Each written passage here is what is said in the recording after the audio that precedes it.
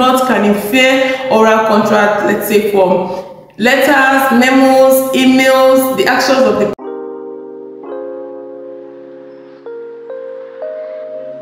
Hello everyone, welcome back to my channel. My name is Adeze Reginald Paul and if you're new here, thank you so much for stopping by. And if you're a returning subscriber, thank you so much for coming back and clicking every video that comes up on this channel. Thank you so much. I really do appreciate you and I celebrate you all. Thank you.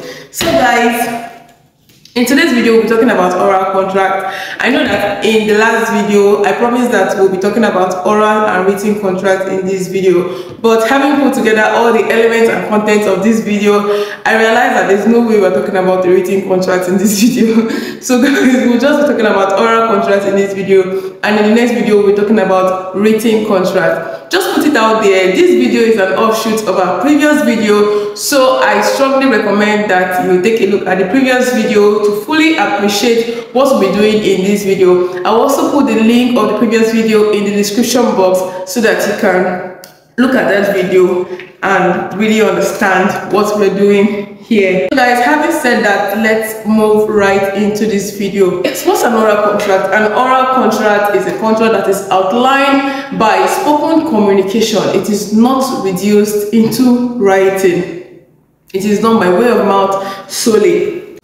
Usually, an oral contract is legally binding, although it is difficult to prove in the court of law. And whether an oral contract can be enforced or not will usually depend on the subject matter of the contract and sometimes the jurisdiction wherein the oral contract was made. In Nigeria, for instance, an oral contract is enforceable depending on the subject matter of the contract. For instance, for a contract for sale of land, an oral contract will not work and it will not be enforceable. So for that, it has to be in writing be enforceable. When can I use an oral contract? It is recommended that an oral contract be used for simple, low-end, straightforward transaction. Let's take for instance, you want somebody to mow your lawn for you.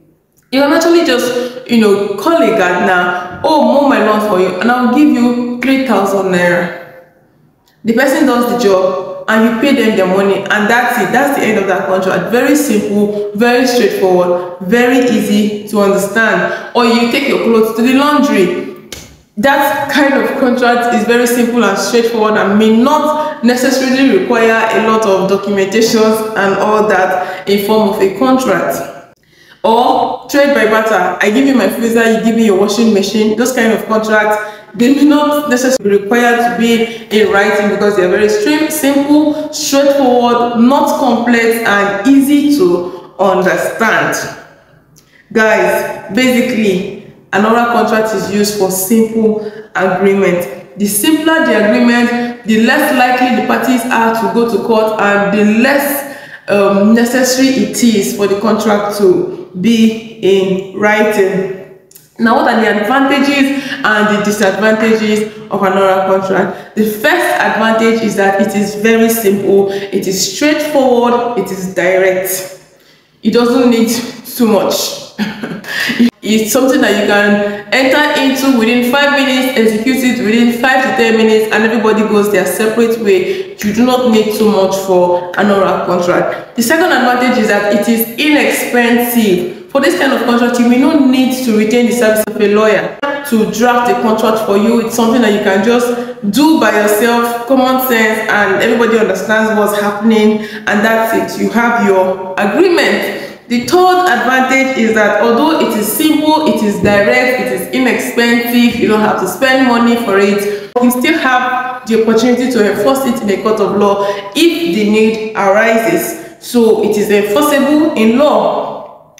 What are the disadvantages of an oral contract? The first disadvantage is that it's very difficult to prove very difficult because it is not in a definite form and because of that it's usually difficult for the court to determine if there was actually an oral contract or not although the court from the actions of the parties and their conduct can infer oral contract let's say from letters, memos, emails, the actions of the parties, their reactions and all that, the court can actually infer that there was an oral contract. But outside that, there's really nothing for the court to lay its hands on and interpret you know, as a contract, and that could be a bit challenging for the parties to prove their position under the contract. The second disadvantage is that it's likely, it's more likely to lead to confusion, error, you know, mistake, and all of that. One party is saying one thing, the other party is understanding that thing, so there's a misunderstanding. So it's more likely to lead to those kind of confusions between the party, and this will also lead to quarrels and going to court and litigations and a misunderstanding and all of that. And you just want to save yourself from all of that trouble. Yes. So number three disadvantage is that it is not very efficient where they are more than two persons to the contract. Imagine having five people going into a contract and you want to do it by way of mouth. It may not be very efficient because the more the parties to the contract, the more complex it is and the need for it to be in writing. The fourth disadvantage is that it cannot be used for complex transactions. I mean, if it's um, if, if you're going to employ a domestic staff in the house you know you can make deal with an oral contract but when it starts to get into high-end transaction contract for sale of land you know like things that are required to be by a deed it has to be in writing. You cannot make deal with an oral contract. So guys basically an oral contract is legally binding although it is difficult to enforce.